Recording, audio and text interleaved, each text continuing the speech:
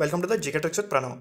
तो आज के लेक्चर में हम क्या डिस्कस करने वाले हैं? What is in today's discussion तो आरबीआई ऑफिसर अटेंडेंट का काम क्या होता है? यूनिफॉर्म कैसे होती है? ऑफिसर कैसा ट्रीट करते हैं? और क्या ये जॉब आपके करियर के लिए अच्छी है? ये सारे पॉइंट्स मैं आज आपको क्लियर कर दूँगा। ऑफ़िस टाइमिंग्स क्या है? ये भी आज मैं आपको बताने वाला हूँ। तो आपने अभी तक जीके ट्रिक्स विद प्रणव को सब्सक्राइब नहीं किया होगा तो पहले सब्सक्राइब कर दीजिए और बेल आइकन पर प्रेस कर दीजिए। मतलब आपको रेगुलर अपडेट्स नोटिफिकेशन मिलते रहेगी। अगर आपको वीडियो अच्छा लगे फ्रेंड्स तो इसके लिंक कॉपी करके अपने दोस्तों के साथ भी शेयर कर दीजिए। आपके व्हाट्सअप फेसबुक, टेलीग्राम जो भी ग्रुप है, वहाँ पर शेयर कर दीजिए। तो स्टार्ट करेंगे आज के लेक्चर को। सबसे पहला पॉइंट आरबीआई ऑफ़िस अटेंडेंट का काम क्या होता है? तो स्क्रीन पर आप देख सकते हैं ढेर सारी फाइल्स है और इससे रिलेटेड आपका वर्क होगा, आपकी जॉब प्रोफ़ाइल है। आपको क्या करना होगा, ये फाइल्स सीक्वेंस वाइज अरेंज करनी होगी सॉर्ट आउट करनी होगी और ऑफिसर को असिस्ट करना होगा। तो देखिए इलस्ट्रेशन के लिए मैंने आपको स्क्रीन पर एक इमेज दी है। अगर ऑफिसर के टेबल पर इतनी सारी फाइल्स होगी तो डेफिनेटली उसका हेडेक बढ़ेगा, उसका टेंशन बढ़ेगा। तो आपको क्या करना होता है, ये सारी फाइल्स जो भी काम की है, वो टेबल पर रखनी है, जो काम की नहीं है, जिसका पेंडिंग वर्क हो चुका है, वो कबर्ड में रखनी है, जो भी रिस्पेक्टेड कबर्ड है, उसमें रखनी है सॉर्ट आउट करके रखनी है। इन शॉर्ट आपको ऑफिसर को असिस्ट करना होगा। उसका हेडेक कैसे कम हो, उसका वर्कलोड कैसे शेयर हो, ये आपको देखना होगा।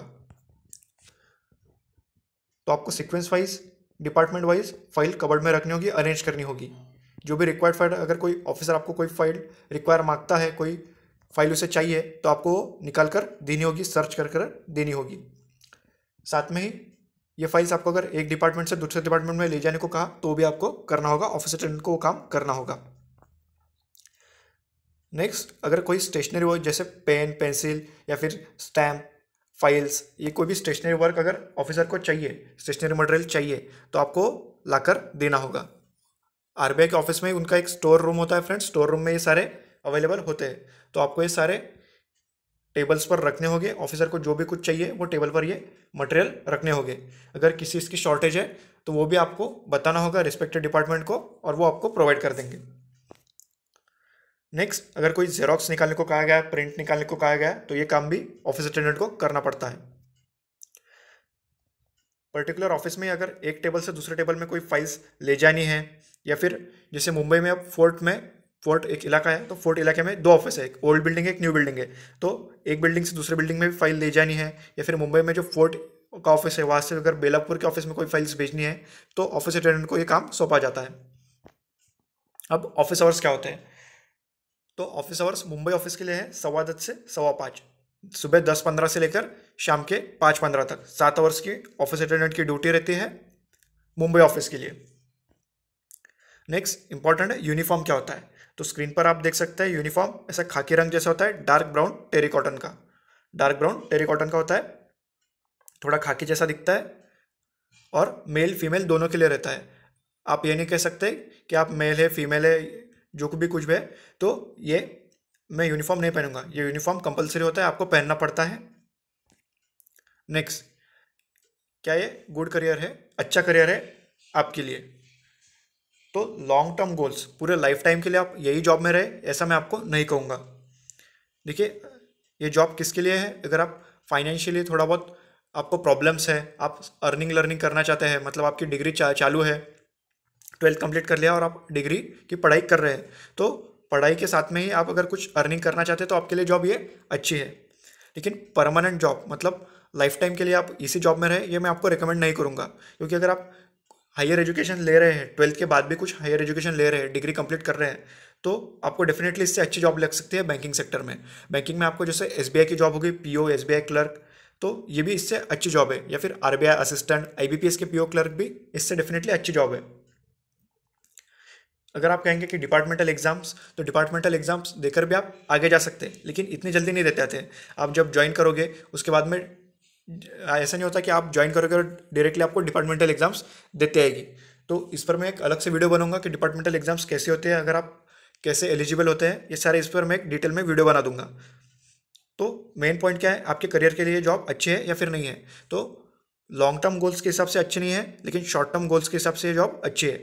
अब फ़िलहाल जो कोरोना पैंडेमिक चल रहा है तो आप देख रहे हो कि आपके आजू बाजू में ज़्यादा से ज़्यादा लोग जो सुकून में हैं, जिनके पास फाइनेंशियल स्टेबिलिटी है, ऐसे कौन लोग हैं? तो सरकारी जॉब वाले गवर्नमेंट जॉब वाले, क्योंकि बिजनेसेस मैक्सिमम लॉकडाउन की वजह से बिजनेसेस भी ठप पड़ चुके हैं। कोई भी आप अगर एंटरप्राइज खोलते हैं, दुकान खोलते हैं तो वो भी लॉकडाउन की वजह से इफ़ेक्ट हो चुकी है। या फिर प्राइवेट जॉब्स तो प्राइवेट जॉब्स डेफिनेटली जॉब से निकाला जा रहा है। जॉब सिक्योरिटी उनके पास में कुछ नहीं है। कभी भी निकाल सकते हैं, उनके पास जॉब सिक्योरिटी नहीं है। तो गवर्नमेंट जॉब है तो आपको फाइनेंशियल स्टेबिलिटी मिलती है फ्रेंड्स मंथली आपको जो भी आपकी सैलरी है, उतनी तो मिलने ही वाली है। तो एक फाइनेंशियल स्टेबिलिटी के हिसाब से जॉब अच्छी है, लेकिन लॉन्ग टर्म गोल्स आप इसे कंसिडर नहीं कर सकते। आपको इससे भी अच्छी जॉब मिल सकती है और आपको डेफिनेटली अच्छी जॉब के लिए इससे ट्राई करना चाहिए। हाँ आपके अगर कॉलेज की कोई भी फ़ीस रहती है मान लीजिए आप इंजीनियरिंग की पढ़ाई कर रहे हैं तो आपके तीस चालीस हज़ार, पचास साठ हज़ार एनुअल फ़ीस रहेगी। पचास साठ हज़ार तो रहती है। तो आप इस जॉब के हिसाब से अगर आप अर्निंग लर्निंग भी कर सकते हैं साइड बाय साइड आपकी इंजीनियरिंग कंप्लीट हो सकती है। या फिर कोई भी हायर स्टडीज़ है, वो भी कंप्लीट हो सकती है। अब देखिए ऑफिसर आपको कैसा ट्रीट करते हैं? तो आरबीआई एक रेपुटेबल ऑर्गेनाइजेशन है फ्रेंड्स रेपुटेटेड ऑर्गेनाइजेशन है। तो ये इंडिया के बैंकिंग इंडस्ट्री का एक एपेक इंस्टीट्यूशन है। तो आपको ऑफिसर्स कोई भी गलत ट्रीट नहीं करेंगे, आपको अच्छे से ही ट्रीट करेंगे। बहुत सारे रूमर्स है फ्रेंड्स कि आपको ऑफिसर्स डांटते हैं, ऐसा करते हैं, वैसा करते हैं।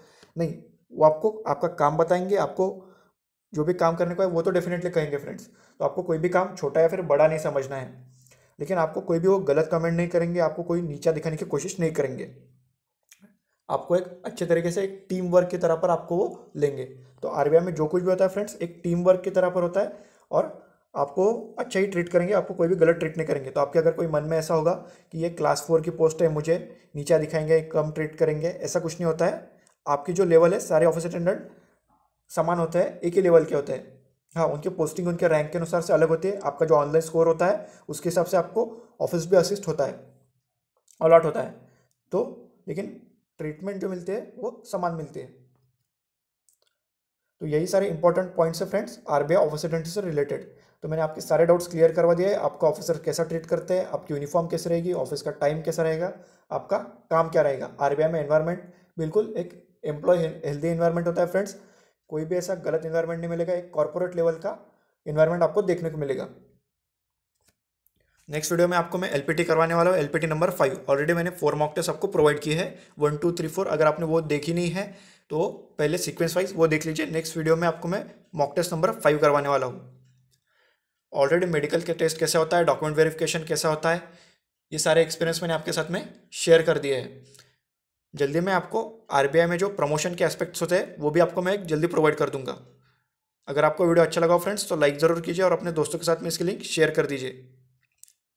Thank you